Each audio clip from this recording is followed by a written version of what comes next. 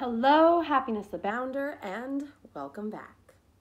So, as we continue our chat all about the five things to have a happier and healthier relationship, I really want to dive into expectations. And I think that this is a funny little topic about relationships because we all have expectations of what a great relationship should look like. We all have expectations of how our partner should be behaving, expectations of everything else, but we very rarely set expectations of how we think we should be behaving. Or we very rarely set those expectations verbally, out loud, or even in a written contract, depending on how you want to look at it. We very rarely say these things to the people we have these expectations of. Which is why we fall into this trap of like, I'm not a mind reader. I didn't know you wanted that. If you wanted that and you told me, I would have done it. How many of you guys have had something like that happen in your relationships? I laugh because it's so true though. If I have an expectation that you behave a certain way and then you don't do that, and I get mad, and you're like, why are you mad? I had no clue that's what you wanted, then it's not the other person's fault. It's yours for not setting those clear expectations. So that's what I want to talk about today.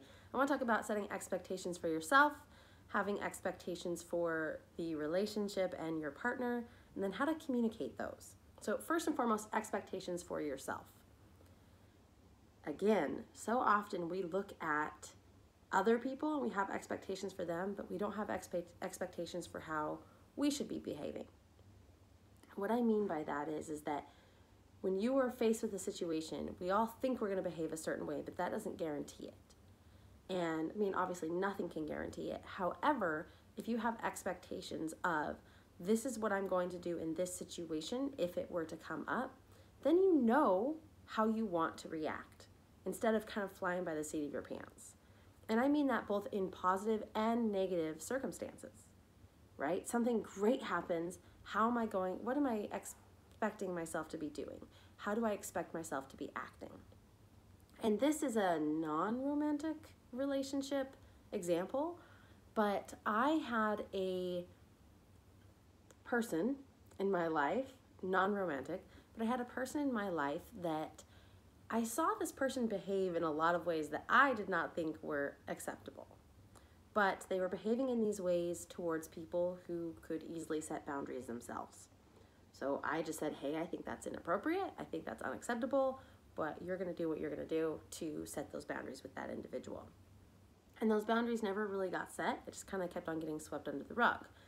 And I knew that some point down the line, if this person got brave enough, they would behave this way towards me. Because it's been, everyone around them says that it's okay, and I haven't said anything, so I just knew I'd be next on the docket at some point. And I said to myself, all right, when this situation happens, how am I going to behave?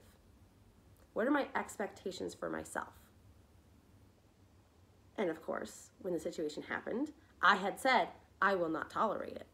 I will shut that down. I will do it politely and kindly, but very assertively and say, This is unacceptable. I do not think this behavior is appropriate. I do not appreciate it, and you need to stop.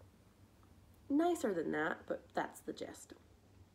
And when I did that, this person retaliated even further. And I was like, all right, well, the expectation has been set that I would behave this way. And if it continued going, I already knew that I would block this person. I would shut them out because I was not going to tolerate this behavior. They were obviously not open to changing or to hearing anything opposite of that they're this great, amazing person behaving poorly. Um, so I cut them out, shut the door on that. That was my expectation for myself. And here's the thing about that I didn't feel guilty for doing it because I had set that expectation, I had set that game plan in motion.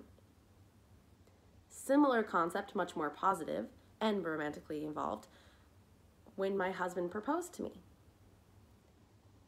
I knew that if he was going to propose, we would have to have a serious conversation about children. And what that would look like and what expectations I would need to set and how that would go down. So he proposed to me. 20 minutes later, after he proposed, we had a very serious conversation about the ability to have children. And that's that was a very clear expectation in our relationship. And it's something that we've been married for seven years now. We've been together for 10. And this second time around, it's a whole story. But that has been an expectation that's been very clear. And because we have that expectation in our marriage, we can have clear communication about it. There is no guessing, there is no concern. And if there is concern, we can talk about it and adjust those expectations. But in both of those instances, that was not me saying, okay, well, if this other person does this, I expect them to behave this way. No, that was me setting expectations for myself. And we don't regularly do that. I mean, those are my two examples I can think of off the top of my head, but I'm sure there are more. But it's something that, like, until you're in the situation you don't want to think about or you don't want to quote unquote worry about, I'm not saying you need to worry about it or overanalyze, but I am saying that consider if you set an expectation for who you want to be and how you want to behave, when those situations come around, if they come around, you already know what to do. And you take that ownness, right? That responsibility, that accountability of how you are behaving in that relationship, in that situation and circumstance on yourself, which is so empowering and quite frankly, I'm going to say responsible and respectful and honest and opens up lines of communication. All things that we want in a relationship. So, the next component of that is once you've set these expectations for yourself, you need to set and have those discussions with your partner. What are those expectations that you have for them? And are they fair? Are they unrealistic? What does that look like? And it's not like, hey, um, I expect you to do this, so there you go. No, it's I have this expectation of my partner. And it's funny enough, my husband and I had this too. I have an expectation, whether you agree with it or not is up to you, but I have an expectation that my partner will not look at porn and will not go to strip clubs and things of that nature. It's just not something I'm comfortable with. It's not something I think is valuable it's not something that I think is worth the time and the money, and that could be better spent elsewhere. And I think it's more damaging than in any way helpful. That's my, like, that's, I know that's my expectation for a relationship. I have set that for myself. So when my husband and I first started dating, I set that expectation.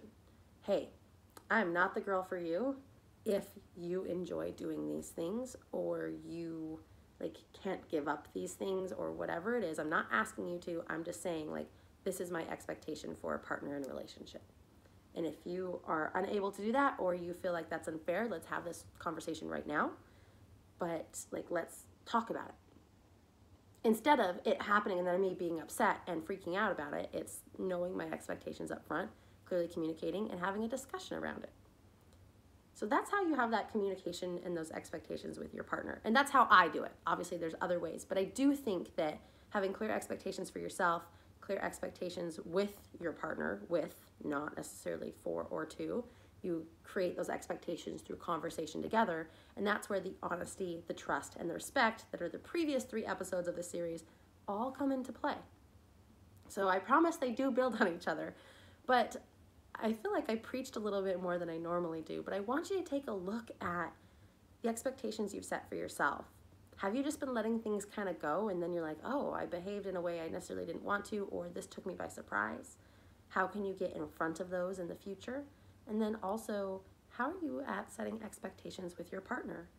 How are you at having those open conversations about what you expect from each other? Right?